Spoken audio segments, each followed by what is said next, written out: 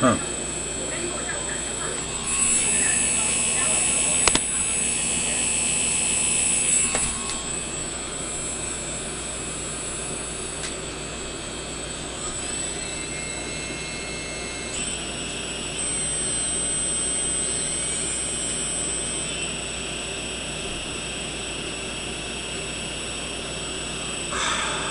Okay, the stick's all the way forward.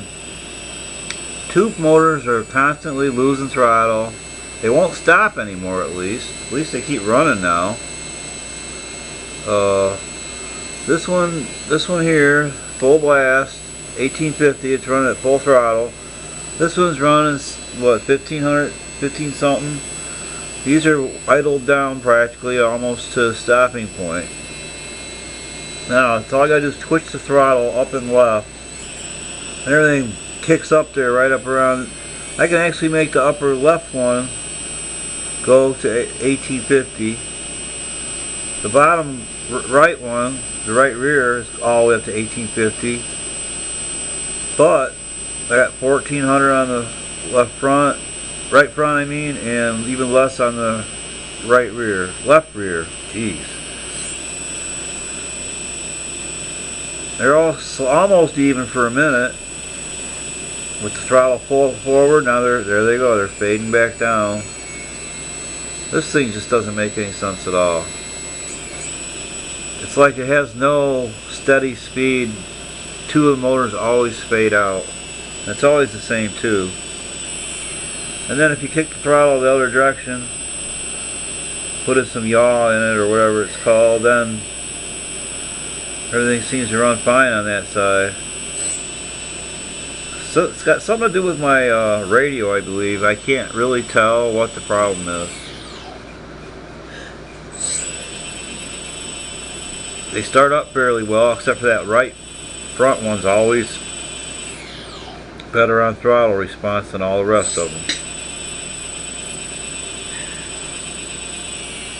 Unless, of course, you do something with the throttle, like move it up up and to the left. The minute you let go of it, they all go back to the same screwed up, one strong and three weak. I don't know what to do here.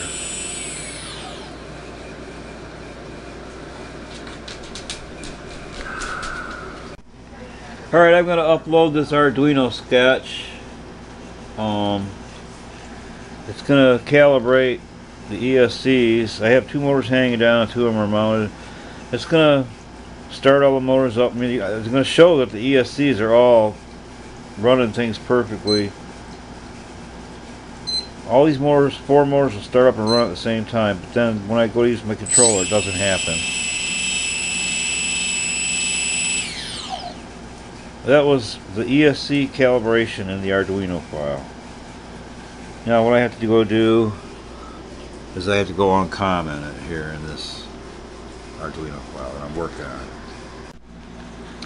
Okay, I've been messing with this stupid thing for the last hour or so, uh, since about 4.30. It's 5.30 now.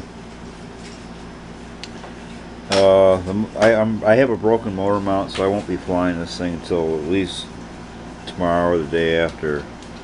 But uh, I did a lot of research and a lot of work, and I came came to the conclusion that my radio was not in sync with the signals it was sending or something. Anyway, nothing was centered right, nothing was working. Max, back off for a minute. My dog's trying to get up in my face. I want to make this video. Anyway, I, I messed with all the trim controls. This little button right here and that button right there this you gotta put where it's gotta be to arm the thing. So, but anyway, after I messed with them enough, I found that I found a, I could find a happy medium where all the throttles started up at the same time. So here we go, I'll show you. That's real close. I mean, uh, I think I think it's flyable now full speed 730 720 720 I'm saying that's pretty much insane so hopefully The next time I take this thing out to launch it, it'll go up instead of flip over in a barrel roll. We seem to have pretty even power on all the motors.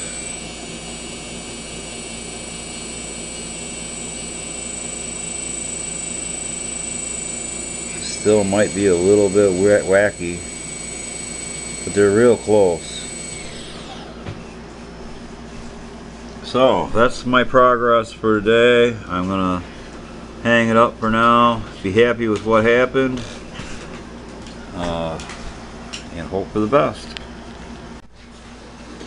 Okay, it's all back together after the crash. Uh, I made a new motor mount from another piece of a, a circuit board, just like the other ones. They're easily replaceable, that's why I made them that way. Knowing it was going to crash and if something had to give I'd rather have the whole thing just crack and then make a new one. But anyway uh, I got the motors to run in sync as I said earlier in the video and uh, it's got its props back on. They're all balanced up. They're all rotating the right way. Um, I don't know what else I can do I guess we'll try another little maiden flight uh, maybe over in the park tomorrow or something. We'll see. Well, it won't be a maiden flight. If it gets off the ground, it'll be a maiden flight. if it doesn't get off the ground and crashes again, it'll be the third crash. So we'll see what we can do.